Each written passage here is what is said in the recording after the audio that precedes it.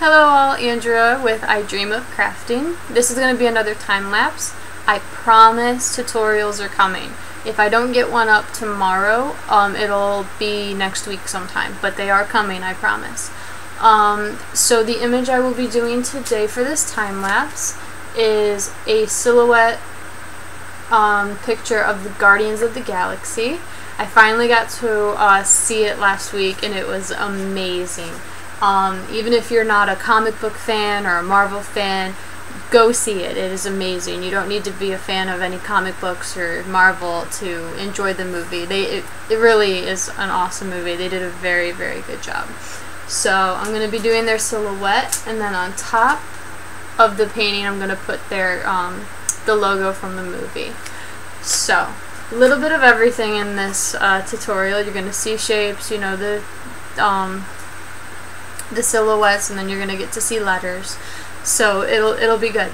So the uh, supplies you will need for this uh, painting, or any painting, are a cutting board, a very sharp X-Acto knife, a new blade if you can, you know, if you have one. If you don't, use the sharpest blade that you have. I got new blades, so that is a new brand spanking new blade.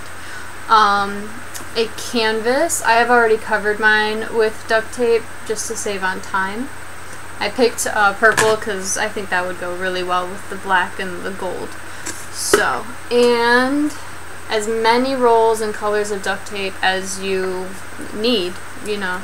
So I'm gonna, this is actually a lot of tape. so, but most of these colors are for the letters. So I'm going to try and do this really tiny Marvel logo up here. I'm going to attempt that. I'm not too good when it comes with this really small letters. I'm not too good at that yet, but practice makes perfect, right? So I'm going to give it a shot. Um, and those are all the uh, supplies you will need. So we're going to get started. I hope you enjoy. So we're going to start by uh, rolling out tape, um, just as wide and as long as you need it, overlapping by no more than a quarter of an inch. Um, cause you gotta, you know, you gotta think how you're gonna cut through all those layers. Um, I was going back and forth on how I wanted to do this, but I decided just to put an extra piece of tape um, on top of the fabric for Groot and Rocket. So we're gonna set this down and start cutting it out. I decided to cut out all the characters at once instead of cutting out one and putting it on the canvas and then going, you know, it, I, I, it would have taken too long. So we're starting with Star-Lord, played by Chris Pratt. Um, when he got the role, he actually dropped 60 pounds um, to play Star-Lord. So, um, that's, you know, that's pretty impressive. Um, and he's actually a um, an accomplished musician. He's played guitar for um, ever since he was 16 years old. So I don't, I really don't think they could have gotten another um, a better actor to play um, Peter Quill. I I really do think he's spot on for the for the uh, role, which is you know it it follows what Marvel you know they're really good at picking their actors and actresses for their roles. I mean, Tony Stark as, you know, Robert Downey Jr. I mean, you could not find a better person to play Tony Stark. So, we're just going to peel him up here. Alright, now we're going to move on to Drax, the Destroyer, played by Batista, um, going by the same name Batista in WWE and I think he moved to TNA also after WWE. But he actually fought for the role of Drax. Um, they were considering another actor, I'm not sure who, but he fought and fought and fought for the role of Drax, and they gave it to him. Um, and when he got the role, he was so excited that he actually went out and he took extra um, acting lessons so that he could, you know, do the character justice. Um, also, he stood every day that he was uh, acting on set, he stood for four hours every day in makeup so that they could add the prosthetic tattoos all over his body. So that's that's dedication. uh, Gamora, Uh, I know her. Let's see, Zoe. Uh, I can't remember her last name, but she played Uhura in the new um, Star Trek movies. And the one thing she was worried about playing uh, playing Gamora was she was worried about being painted green. that, that was her main concern, but um, I think she got over it pretty well because uh, she did an awesome job with Gamora. Um, you know, usually female actors in um, well, she was the first female um, superhero for Marvel to bring out. So, um, you know, she was really going to make or break any future. Well, I can't say that. There was Black Widow, but Black Widow was, you know, even in the Avengers, she was so un- underused. So to have a character, a, a strong female character like Gamora for the first time in a movie, it was it was awesome, and she did a wonderful, wonderful job. So now we're on to Groot and Rocket. This was a little hard to cut out because mainly because of Rocket. Uh, he has a lot of twists and turns. But I started with Groot first. Groot, voiced by Vin Diesel.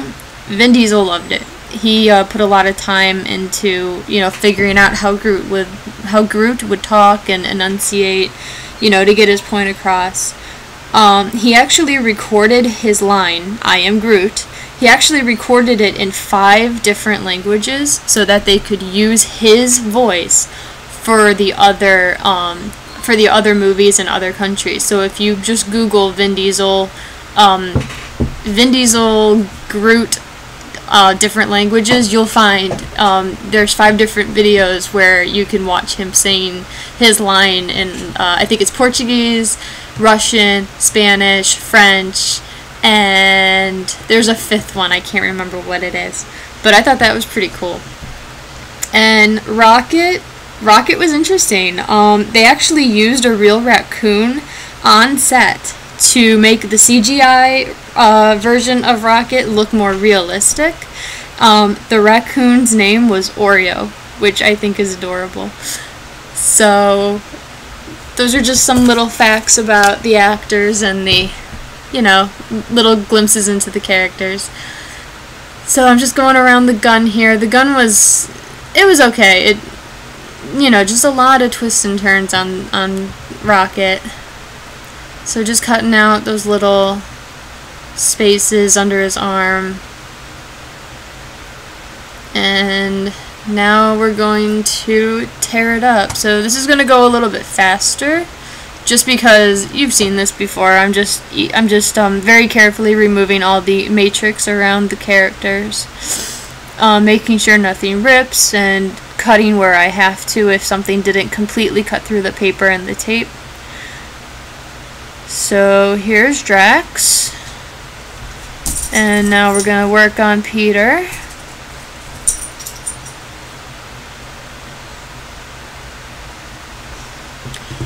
and you're gonna see me like uh, like right here like use extra tape um or the uh, yeah the extra tape that to go over it what I'm doing is I'm just cleaning up the edges of the um of the figure because um, duct tape has the fiber interwoven into the uh, into the duct tape so when you're cutting out things like this sometimes the fab the um, tape will come away but you'll have fiber that still is holding on. So you so you have to you have to um you know try and get that fiber up and the best way is to just you know um the best way is just to go along the edge where the fiber is and then just use tape and um you know have the fiber st stick to the tape. So here we are trying to release rocket here um, just because of all those twists and turns and really thin lines.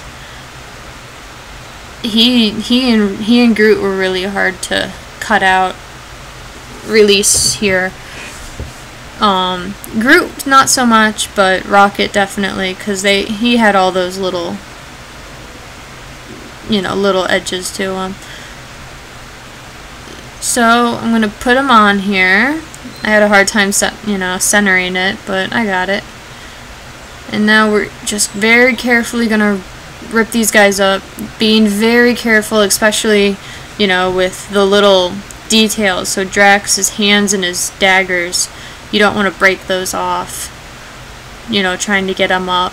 You, I, could have, I could have, uh, you know, cut those and then just fitted them back in, but it's better if you can do it all in one go.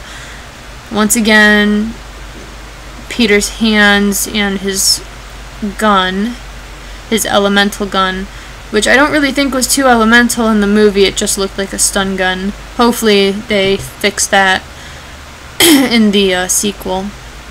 It was still a really good movie. I, I enjoyed I enjoyed his uh, weaponry.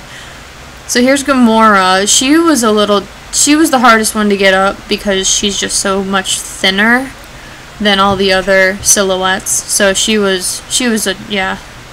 And you notice I haven't done her um, her sword yet because her sword goes um, goes over Groot's legs. So either way, I would have had to cut out either her gun or I'm sorry, her sword separately or Groot's legs separately, and I didn't want to, you know, cut Groot in half. So I just decided to do her sword um, at a later time. So now I'm just cleaning it back up again. Anything you know when you place it on the um, the colored tape, you uh, see it. I'm gonna do this for all the characters. I'm just gonna show you Groot though, and then time skip. So here's her sword. I printed off another um, picture and I'm just uh, I'm actually looking at a picture while I'm doing this on my laptop so that her sword actually has some uh, some uh, what do you call it spaces in it. But it was so it the silhouette is so thin and it's covered it's mostly covered up by Groot anyway. I decided just to leave it real simple. I did the little hook you know by the hilt but I didn't do the um, I didn't I didn't cut out the um, other elements of the sword because it's just, it would it would have just been covered up by Groot anyway, so you wouldn't have been able to tell that there were any spaces there. So, but I did lift up her her hand and put it, you know, put the sword under her hand. Um, and then I realized that I forgot Star Lord's red eyes from his mask. So here I'm just I just took a piece of tape, cut a square out and then out of that square I just rounded the corner corners. So um, to give him his red eyes. So this is part one. I had to uh, I, the letters took a lot longer than I thought so I had to do a part two. So please go over to part two and um, we can finish this uh, photo